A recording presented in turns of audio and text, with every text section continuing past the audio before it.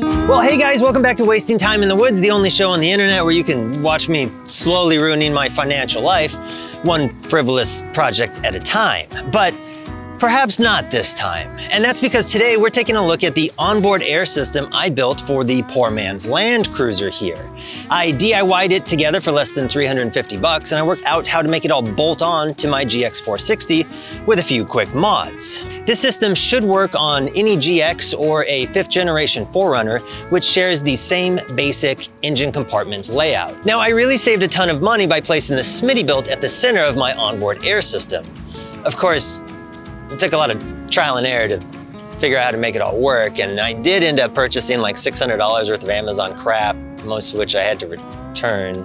And it did take like a whole works week worth of hours to save maybe like 200 bucks, so. But hey, I've already made all those mistakes, so you don't have to. Stick around to see how you can build your own DIY onboard air system and to smell the salty stench of my regrets, broken dreams.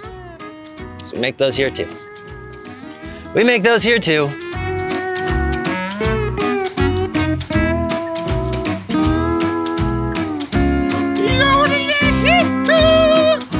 All right guys, today we are going to take a look at the DIY onboard air system that I built for my GX460 based around a Smittybilt 2780 air compressor.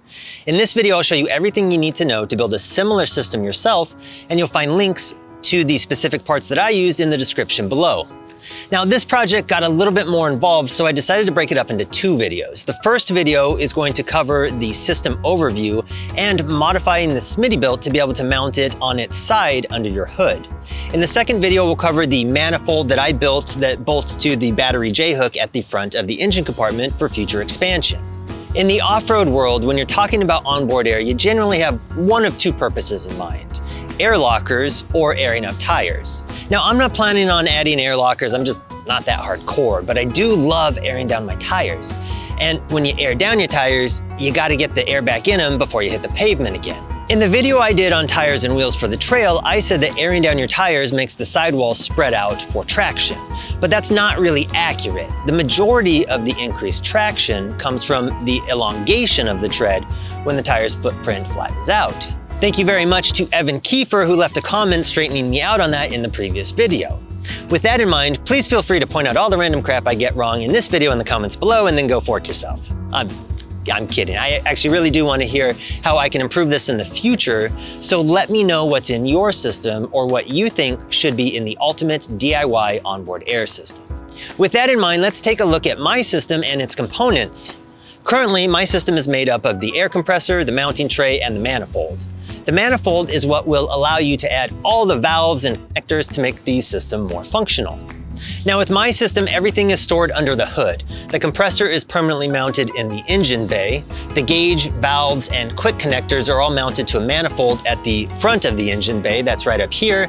And the hose with air chuck stores neatly in the space between the battery and the fender. This setup allows me to pop the hood, connect the hose between the manifold and tire, and then control the whole process from the front of the car.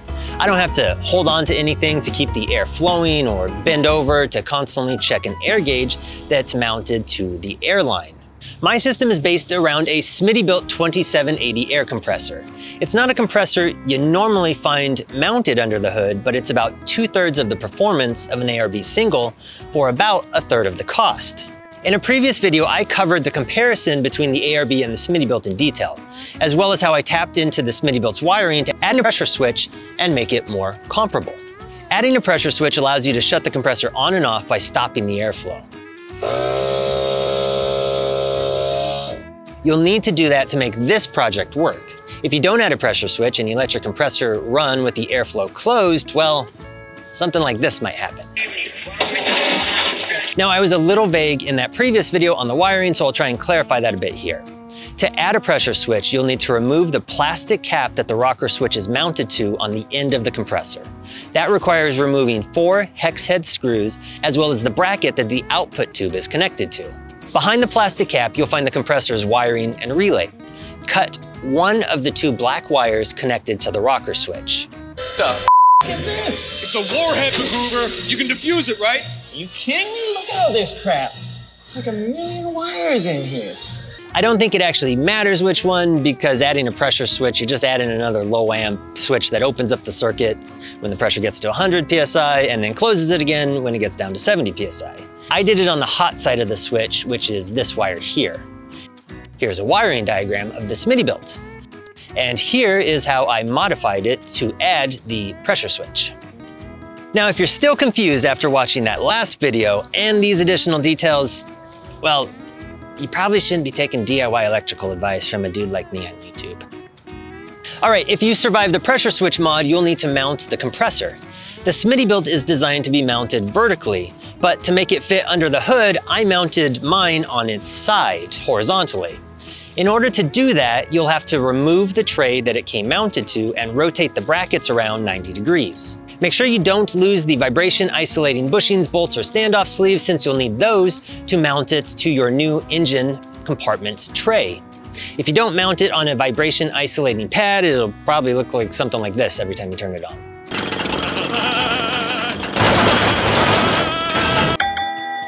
Now, I wish I could say that rotating the brackets around 90 degrees was as easy as rotating the brackets around 90 degrees. But unfortunately, the compressor piston caused the brackets to stick out about two millimeters too far for the holes to align, so I had to get the Dremel out and shave off a bit of material on the one bracket.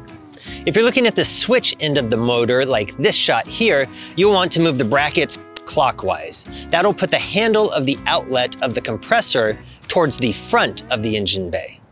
You'll also need to insert the bolt and rubber bushing that sits under the piston into the bracket before you reattach the bracket. Otherwise, there's no way to get the bolt in between the bracket and the piston housing once it's mounted to the tray. I found that out the hard way. I find out most things the hard way. Just ask my dad. Now, in the previous video, I converted the Smittybilt's closed flow metric fittings to quarter inch NPT open flow fittings. I also added a stainless steel leader hose at that time. This is a leader hose. These are leader hosen. You're gonna wanna choose a leader hose for this particular application. All right, Charles. Check out the links below for the special quarter inch NPT to metric coupler that I use to make the conversions. I also added a three-way fitting at the compressor to accommodate the pressure switch. For the permanent install under the hood, I changed the leader hose to a 20-inch check valve leader hose. The check valve hose will keep the air from leaking back out through the piston and causing the compressor to cycle on and off every 30 seconds or so. I also put a quick disconnect on the end of the leader hose to be able to connect it to my manifold while maintaining the ability to easily bypass the manifold or change the battery in the field. Okay, now that we've got it ready to install, we've got to figure out how to mount it. Now, there are a ton of mounting trays available for fifth generation 4Runners, and a few of them will work for the GX460 as well. Most of them go for about 150 bucks. Now, I'm no fabricator, but 150 bucks for $10 worth of laser cut metal with two bins in it, it didn't seem like a good value to me. That's when I found Power Trays. Power Trays makes beautiful engine compartment mounting trays out of aluminum for all sorts of vehicles. They're also significantly cheaper than a lot of the options on the market. They're beautifully designed and executed with chamfered edges and all the hardware you need to mount it cleanly. Now, they have a bunch of trays pre-drilled for typical installs like Switch Pros panels or ARB compressors, but they didn't happen to have anything specifically configured for a cheap bastard trying to DIY up a Smittybilt install. Go figure. When I reached out to see if they would help me figure out which one would work best, I got a guy named Maverick Bain. Maverick's also the owner of Power Trays, and after watching a couple of my videos, he still wanted to help me. Inexplicably. Most of their trays are designed to have the hardware undermounted to give more clearance so you can use both the top and the bottom of the tray as a mounting surface. Since the Smitty Smittybilt is a bit taller than the ARBs that are normally mounted to these trays, Maverick suggested that we try a new tray that he had developed for the 460 with the hardware on top, more like some of the typical mounting solutions you see on the market. The tray mounts to the upper inner fender and the support leg mounts to the lower inner fender. Now it's a bit tricky to get the lower leg mounted because you've got to get your hands behind the tire and the shock mount to get the nuts on. Might want to find somebody with small hands to help you with this part of the install. You're gonna find two 3 8 inch studs. Now be careful, there's a lot of sharp edges back there, all right? Are you sure we're supposed to be doing this? Your mom's not here. Next, I marked and drilled the mounting holes. The hole for the bolt under the piston was obscured, so I had to kind of triangulate using a T-square to drill that last one. Finally, I uninstalled the tray, remounted the compressor, and reinstalled the whole thing. Along the way, I had also cut the alligator clips off the compressor and replaced those with ring terminals that I screwed directly onto the battery posts. I may add an auxiliary power system at some point, but for now, just bolting them onto the battery post with the inline fuse should work fine. In the next video, we'll take a look at how I finished off the system with a fancy manifold that bolts right onto my battery post. Now, before we wrap up, I wanna give a huge shout out to Maverick and PowerTrays for helping me out on this project. If you guys need to mount air or electrical accessories under your hood, please check out PowerTrays solutions for your 460, 470, 4Runner, or FJ. Check out the link in the description below and use the code WASTING TIME to get 10% off. All right, guys, thanks for watching.